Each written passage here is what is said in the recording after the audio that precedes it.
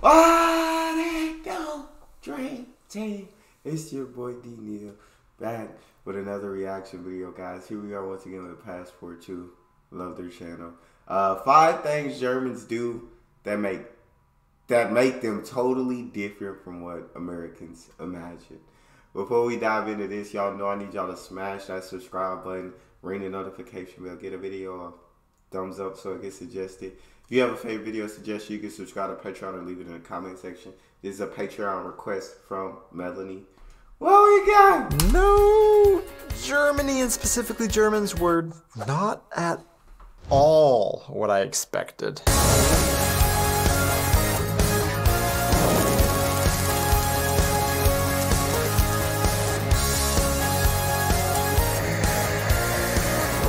Guys and welcome back to our channel. I am Donnie and along with my wife Aubrey we are two Americans currently living in Germany with our baby sharing all of our experiences living and traveling throughout Europe. There are a ton of stereotypes Americans have for Germans, and I would venture to say that most of them annoy Germans and unknowingly come from falsely applying an already cartoonish and overly dramatized perception specifically of Bavarians to the rest of hmm. Germany. But then Okay.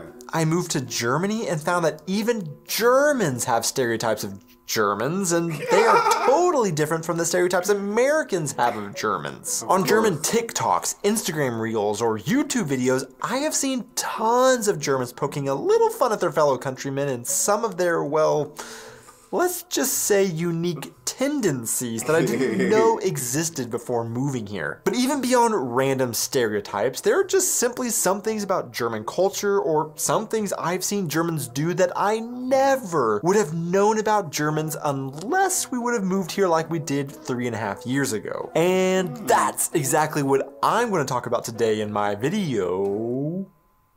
More than a stereotype, this is what Germans are like. So first off, Now he's got me intrigued.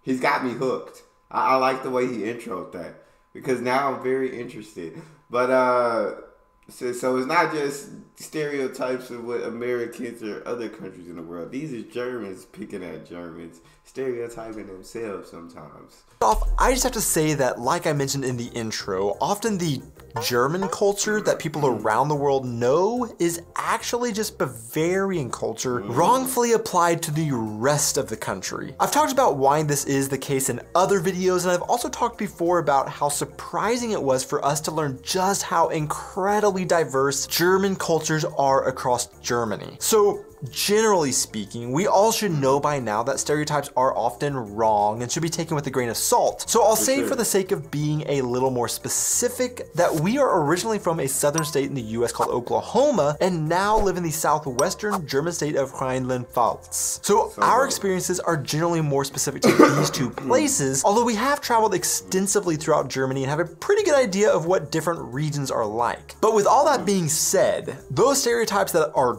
generally wrong that I'm referring to are often held by people that may never have even stepped foot in Germany and therefore haven't seen the reality of life in Germany. But this first thing I learned about Germans only after So know what I'm saying? All the stereotypes you got in Germany, they're mostly the Bavarian. That's mostly Bavarian culture, I guess. The rest, and, and it's being applied to the rest of Germany when it shouldn't be applied to the rest of Germany. It should be applied to Bavaria. I got, I, I, I'm with you. I'm with you. after moving to Germany are generalized stereotypes that Germans have for Germans all across the country. So maybe these should be a little more accurate. However, mm-hmm. these stereotypes partly actually come originally from a different culture. So the internet has pretty successfully destroyed the chances of any future babies being named Karen, as it has been coined for entitled middle-aged or older white women who yell for the manager. Well, just like when you see someone matching this description in public and label them as a Karen in the US, in Germany we have learned that they have the Alman. What we have learned is that an Alman is the stereotypical German in Germany. In fact, on the German network SVR, a famous German online internet personality, Phil Laude, now has his own series called Almania, which is about the most German teacher in Germany, correct, rule obsessed, and um lactose intolerant? Now, a so-called Alman actually does generally embody many of the same stereotypes that Americans have for Germans as well, like being someone who is always punctual and wears the socks and sandals, of course. However, there are even more specific stereotypes of an Alman that I had never heard as stereotypes for Germans until we moved to Germany. Like, for example, unlike a Karen, a DW article once wrote, Almans don't want to speak to the manager, they want to speak to you, meaning they are also hmm. confrontational and will address you directly if they believe you are in any way out of line. For example, an Alman will personally berate you if, like, you cross the street when the red light is showing at the crosswalk or if you start to mow your lawn on a Sunday. Almans also have memes about them waking up at the crack of dawn on vacation to run down to the hotel pool to lay out their towel on the prime lounging chairs and going back to bed just so they can make sure and reserve the perfect spot for relaxing all day before anybody oh, else gets them. Or, you know, you find an Alman's home if their lawn is perfectly manicured and they have a few garden gnomes directing the garden. Now, those are just a few examples of the German stereotypes of the Alman that I am aware of, but let me know in the comments any others that you know of that I may not have heard about. So hmm. unlike a Karen, which is of course a common first name in the US, the word Alman is not a German word at all, but is ah. actually the Turkish direct translation for German. And there is some oh, debate as to whether or not this is a racial slur against white Germans, but from what hmm. I have seen from the outside looking in, it does seem like it has been embraced by many younger Germans like Phil Laude to poke fun at their own countrymen. Now, there are countless Instagram and meme pages online that I follow of Germans posing as a perfect Alman, and as I have tried to integrate into German culture and society and blend in a little bit more, I feel like I've started noticing that I'm accidentally starting to transform myself into said stereotype.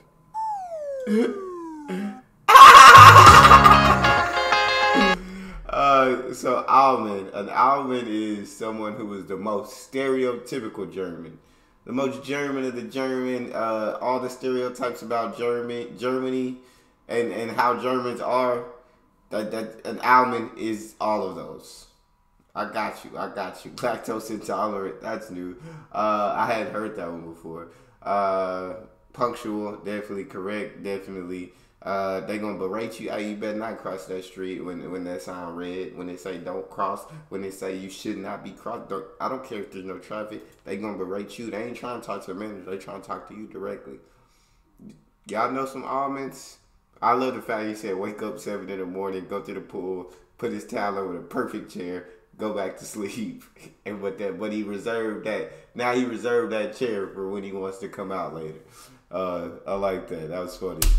I want to take a second to ask all of you to hit those like and subscribe buttons if you are enjoying this video, and also to give a big thanks to all of our patrons over on Patreon who continue to support our channel. I really, really, really do appreciate you guys. I recently did a whole video on a few differences in coffee culture between Germany and the US. I talked about a few hmm. things like coffee drinks that exist in Germany that don't in the US, and one of Germany's most famous coffee stores that confuse us to this day. Now, one might question as to why I made a video about drinking coffee in Germany because if you're going to make a video about drinks in Germany, it has to be about beer, right? After all, the number one thing Germany is famous for is their beer.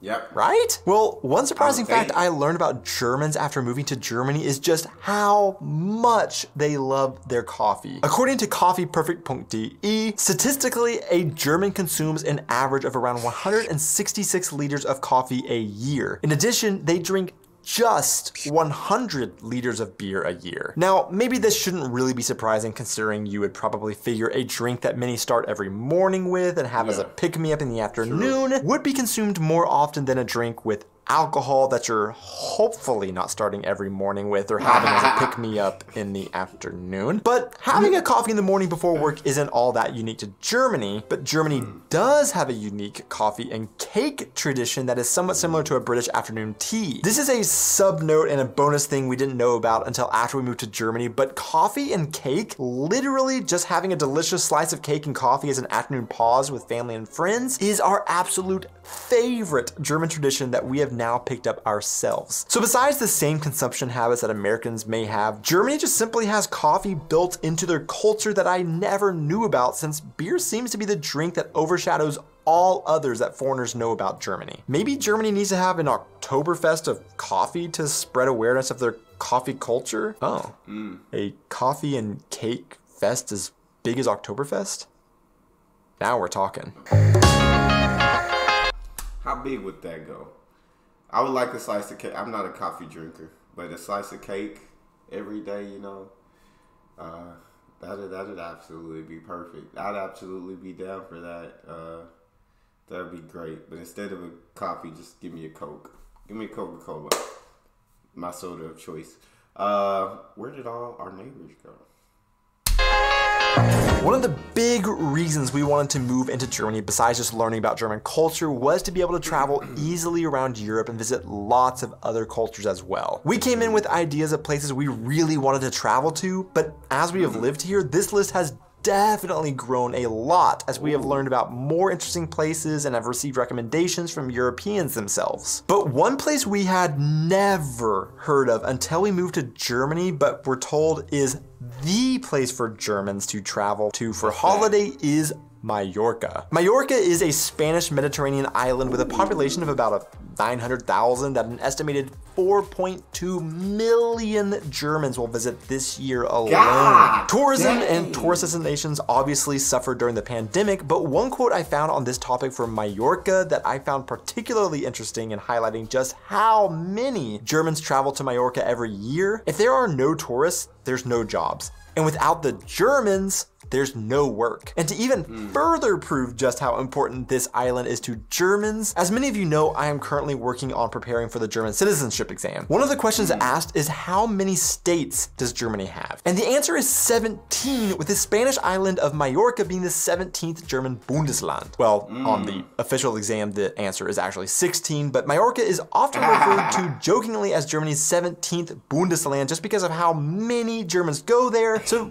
this probably should be fixed on the citizenship exam. Now, we've still not that. personally made it to Mallorca to experience it for ourselves and to find out exactly what it is about Mallorca that has the Germans loading Ballermann music into their radios and rubbing in the sunscreen. But I read one explanation being besides the beautiful weather, close location to Germany, or low costs, when Germans like somewhere, they don't want to change. Feeling at home while on holiday is a big must for Germans. I don't know. Let me know in the comments. Have you been to Mallorca? Or maybe a better question is how many times have you been to Mallorca? And what is it about Mallorca that draws so many Germans over other islands or beach destinations in Europe?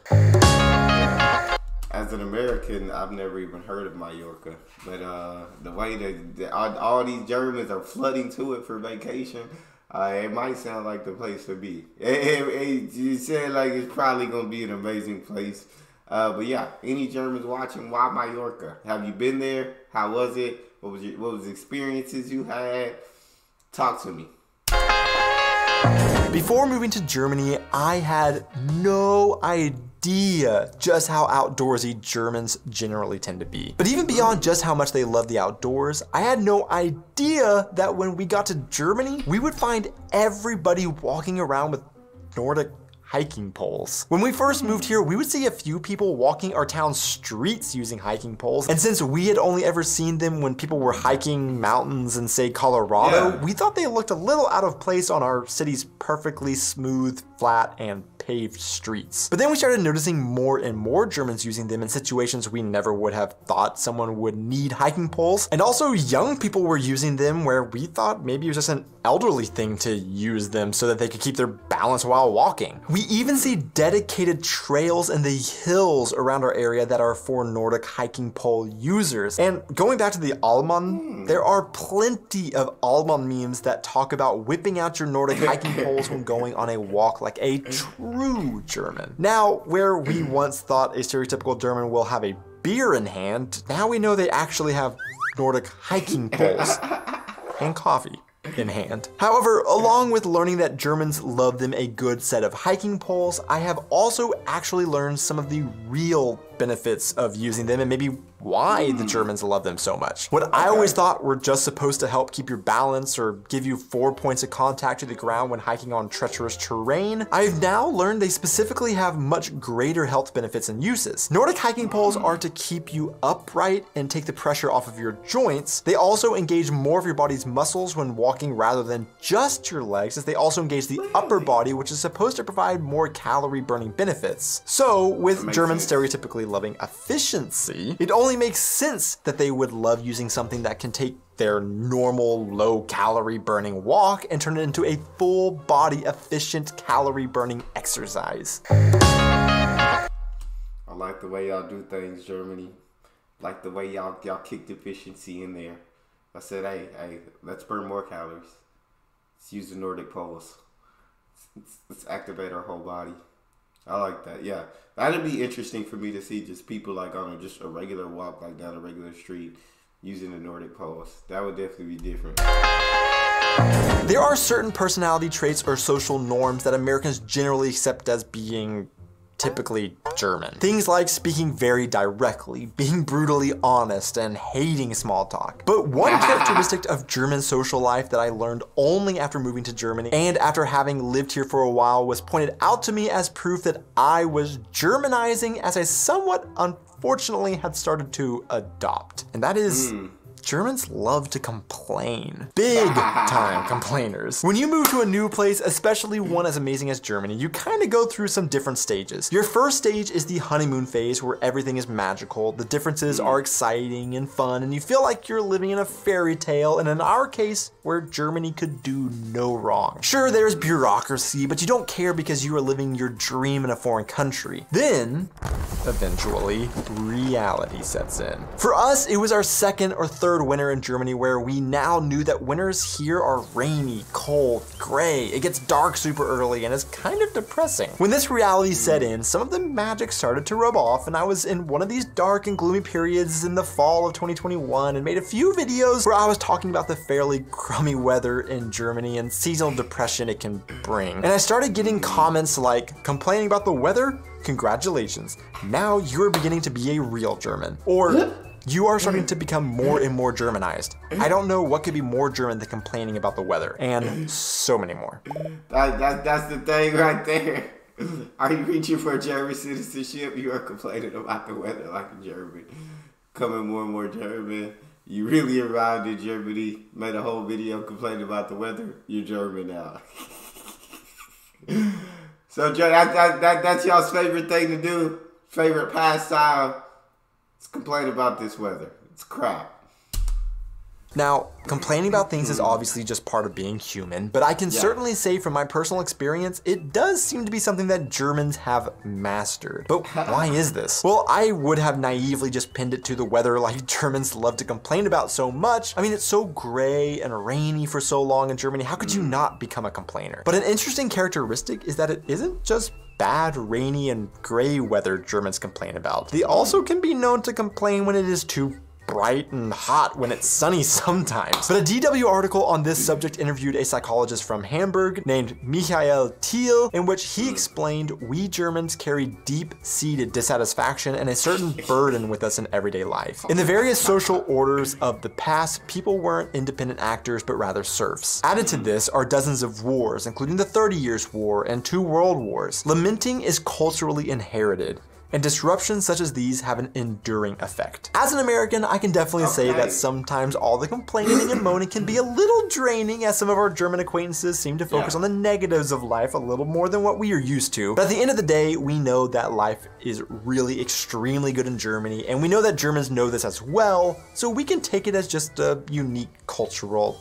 attribute. To see who made it this far into the video, the We're gonna go ahead and stop it right there. Yeah, I I mean, like you said, it's human nature to complain, but yeah, if I don't like being around people like who complain too much, uh, just cause then like like I start getting that way too. I start complaining about things. I'm like, hold up. Uh, but I absolutely love this. Shout out my fellow, not my fellow, cause I'm not German. Shout out my awesome Germans. That's all we got for this one. You guys got a favorite video suggestion? You can subscribe to Patreon or drop it in the comment section. It's your boy D Neal out.